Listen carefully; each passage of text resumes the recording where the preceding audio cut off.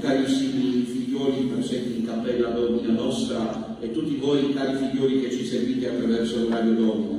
Oggi è la festa liturgica anzitutto di San Giovanni de Mata, questo santo fondatore dell'ordine dei padri trinitari. Fu invitato dal Signore stesso a fondare questo ordine religioso. Nella sua prima messa celebrata nel 1192, quando aveva già 40 anni, per quel tempo era un'età avanzata per diventare prete.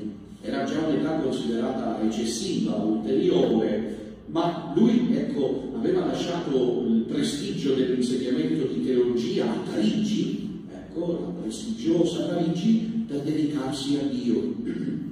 E nella prima messa gli appare il Signore Trovo questo esordio molto bello. Molte volte il Signore e la Santissima Vergine vengono incontro per delle grandi opere e manifestano un esordio in questi uomini e queste donne di Dio soprannaturale. Pensate Don Bosco, quando a sette anni e mezzo vide Gesù e la Madonna che lo invitavano a trasformare eh, lupi in perle. E lui, San Giovanni Bosco, interpretato poi quella visione lì come appunto eh, la vocazione, la, la, visione della sua vocazione. Pensate a Padre Pio da Pietrelcina, ancora piccolo Francesco Forgione, a cinque anni Gesù lo conduce a Piana Romana e lì dimostra il diavolo che eh, distrugge le anime e Gesù lo invita a combattere contro il diavolo. Pensate a Santa Teresa d'Anda, Pensate a tutti i grandi santi o tutti coloro che nella Chiesa hanno avuto una missione e molte volte questa missione ha avuto come un esordio soprannaturale. È quello che è accaduto anche a San Giovanni de Mata. La Madonna è venuta incontro agli schiavi cristiani che hanno attraversato pene incalcolabili, venivano schiavizzati dai musulmani, dal califfato spagnolo e condotti schiavi tra le catene e in mezzo a grandi sofferenze in Marocco. Si parla di migliaia e migliaia di cristiani tra, tra la fine del XII secolo e il XVI secolo. E così il pianto, il dolore, le lacrime di questi credenti giunge a Dio e mentre la Madonna appare a San Pietro Nolasco per fondare l'ordine dei eh, padri mercedari, Gesù appare a San Giovanni de Mata per fondare l'ordine dei padri trinitari, tutti e due questi ordini chiamati a liberare gli schiavi cristiani. Gesù appare a San Giovanni de Mata e la sua vita è segnata da questo esordio. E poi noi sappiamo della sua esistenza che si è speso fino allo stremo per questa causa. Oggi le schiavitù sono tante, ma credo, non so se siete d'accordo con me, che la vera schiavitù, quella più dolorosa, è la schiavitù della menzogna oggi, è la schiavitù della impostura che soprattutto attraverso i mezzi di comunicazione tiene schiave le anime nell'errore, tiene schiave le anime eh, eh, di una falsa chiesa, di un falso papa e di una falsa messa.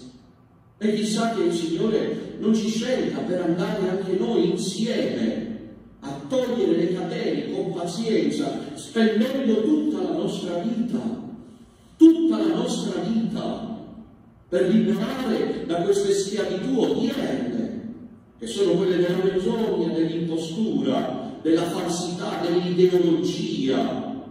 San Giovanni de Mata si spende fino alla fine e poi a Roma, come sapete, e ha incontrato nel 1209 San Francesco d'Assisi. Trovo molto bello questo eh, rapporto di amicizia di Francesco d'Assisi che altrimenti sarebbe rimasto del tutto isolato a Roma, rischiando molto, quanto oggi è importante anche nella Chiesa coltivare questa rete di vere amicizie anche tra di noi del piccolo resto, come ci chiamiamo, per farci forza e andare avanti insieme e San Giovanni de Mata accoglie a casa propria San Francesco d'Assisi e verosimilmente perora la sua causa presso il Papa Innocenzo III che era stato suo allievo di teologia.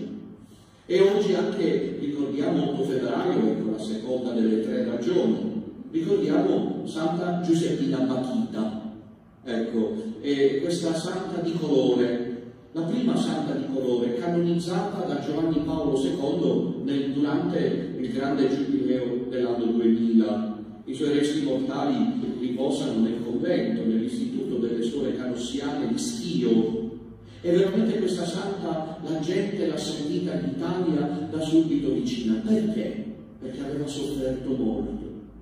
La vita di Bachita è una vita per cui addirittura alcuni romanzieri volevano scrivere la sua vita, il suo romanzo, è nata in Sudan, in Africa, è schiava, è stata incisa in tutto il corpo con ferite profonde e poi curate col sale, quindi dolori in mani, ha conosciuto la schiavitù, poi è stata venduta a un proprietario terriero italiano che l'ha portata con sé. Lei a Schio, ecco in Veneto, potuto conoscere Gesù e se ne è innamorata.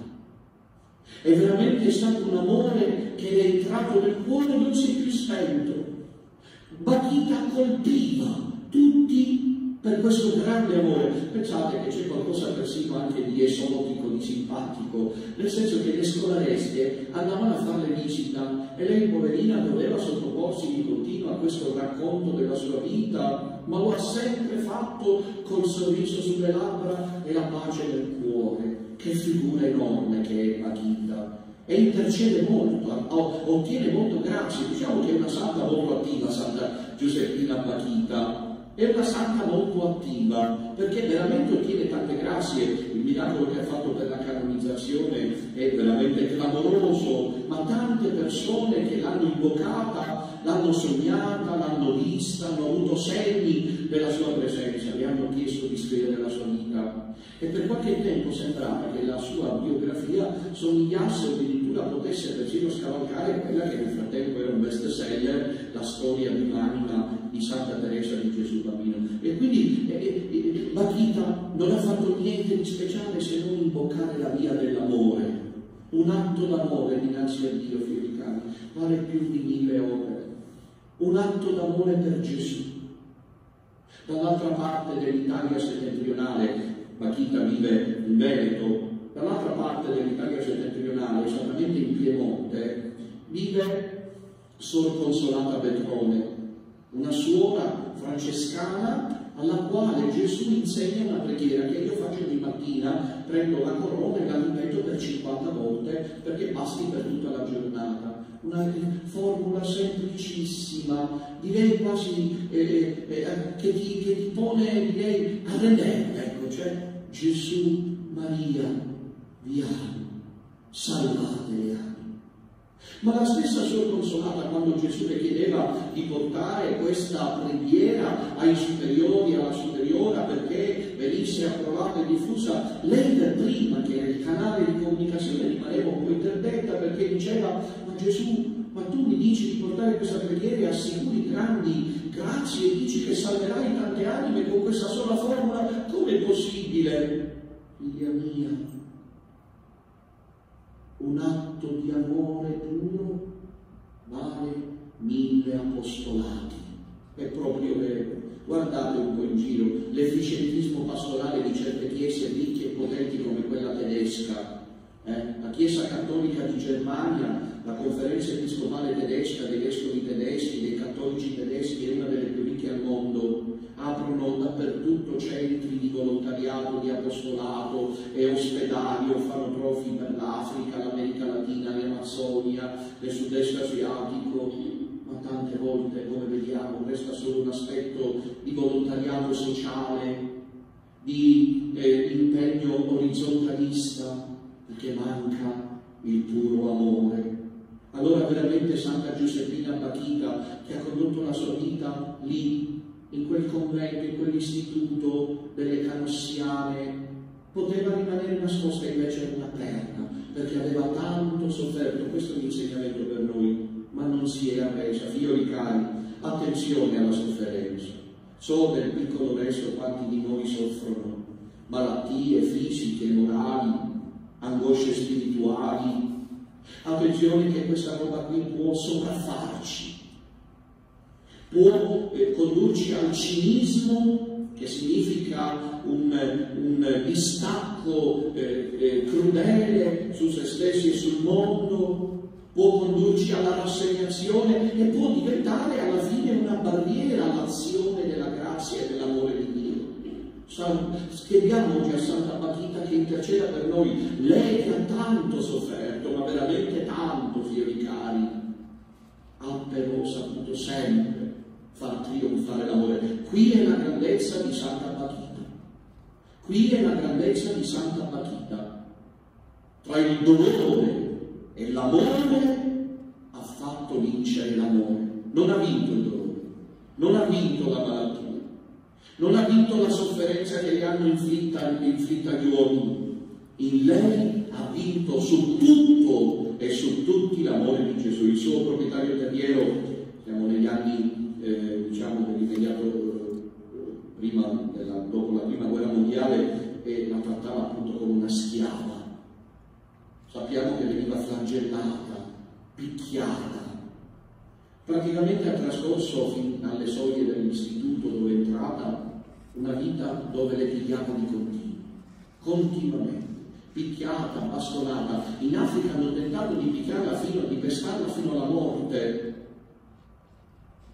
Non sappiamo poi neanche, per una questione ovviamente di decoro, eh, diciamo, eh, sacro, se non si è andati anche oltre, non si è tentato di andare oltre contro questa giovane donna, contro la quale sembrava quasi che il diavolo e il male volesse accanirsi, forse perché il diavolo sapeva che da questa donna di colore avrebbe avuto una grande sconfitta.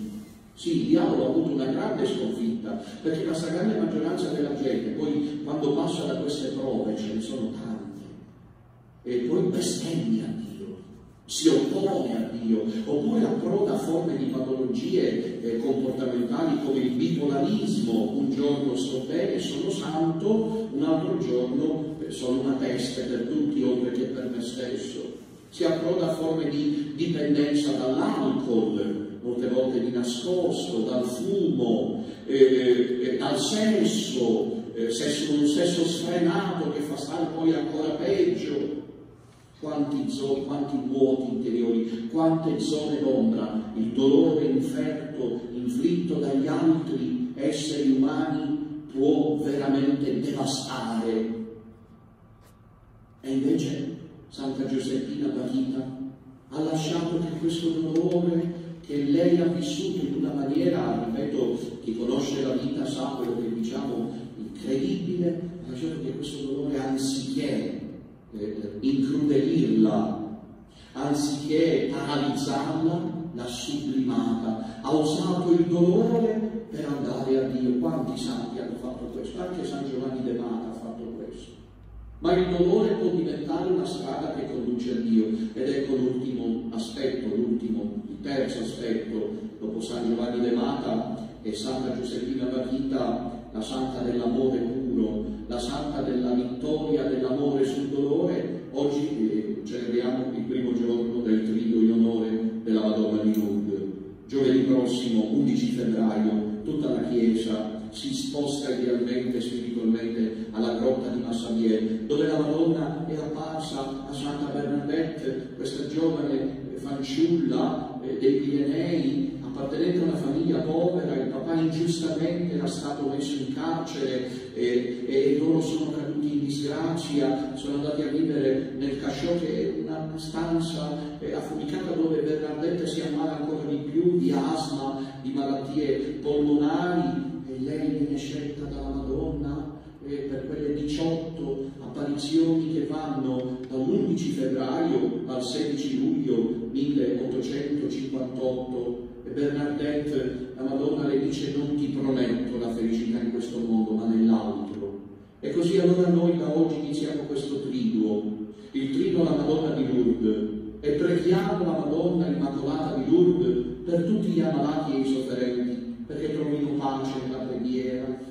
Non è importante a tutti i costi star bene, se poi si è lontani da Dio. Quanta gente io vedo in giro, eh, in giro, io sapete che prima del coronavirus viaggiavo moltissimo che sta bene fisicamente, questi uomini d'affari, questi uomini di mondo, e poi stanno male dentro. Non è importante avere una performance fisica, se la si ha tutto buono e benedetto, però quello che è importante è avere Gesù nel cuore e vivere la preghiera. Stamattina ho fatto un post sulla Esichia, la preghiera del cuore cara alla tradizione orientale, poi in Russia, con i racconti di un pellegrino russo, Signore Gesù Cristo, abbi pietà di me peccatore, questa preghiera che sempre, quando noi, qualcuno oggi dei più figli spirituali più vicini mi ha chiesto, padre, possiamo anche fare noi qui la preghiera del cuore? Ho detto no, abbiamo il rosario noi. Il rosario ha gli stessi effetti del, dell'esichia e hanno infatti anche loro la corona i monaci, hanno la corona con il rosario e, e, noi sappiamo anche tante volte iniziamo il rosario, siamo con la testa come un pallone, pensieri, problemi, preoccupazioni, agitazione, angoscia, tristezza, oppure provenienti dal diavolo, fatica, tedio, sonno, sbadigli, noia, tedio, e poi però alzi la mano chi non può dire quello. Finito il rosario, no? Finito il rosario, ti senti rinvigorito, senti proprio che da te stesso, non è che dall'esterno, ma da te stesso, dal tuo cuore scorga la luce, la pace, la forza per andare avanti. Ecco, Santa Giuseppina Bachita e Santa Bernadette di Lourdes ci ricordano questa verità. Anche nel dolore quello che importa è che continuiamo a pregare, che la preghiera sia il ritmo che scandisce le nostre giornate. Vorrei concludere con un'ultima suggestione tratta dal post che ho fatto stamani sulla preghiera del cuore, quando ho scritto che, eh, che appunto uno dei monaci russi, eh, uno dei monaci russi, Silvano del Monte Athos, mentre faceva la preghiera del cuore, nascondeva l'orologio, i battiti delle lancette in un armadio e poi si copriva col cappuccio, sia gli occhi eh, che nel, nel viso, perché? Perché si, dire, si, concentrava su Dio. Allora non, siamo, non è la preghiera che entra in noi, capite? È una cosa molto bella. Eh, non è Dio che ci visita, siamo noi che andiamo da Dio.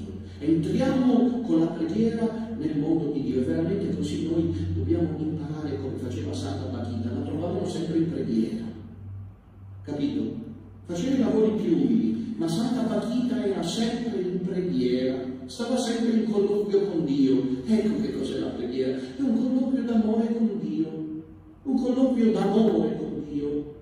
E questo dialogo incessante, personale, intimo, c'è la forza, c'è la pace, c'è la luce, c'è la grazia e c'è la gioia e soprattutto c'è la forza per curare le ferite della vita e per non arrendersi mai ma andando sempre in avanti secondo la volontà del Signore. Nostra Signora di Lourdes, prega per noi. Santa Giuseppina Batita, prega per noi. San Giovanni de Mata, prega per noi. Laudetur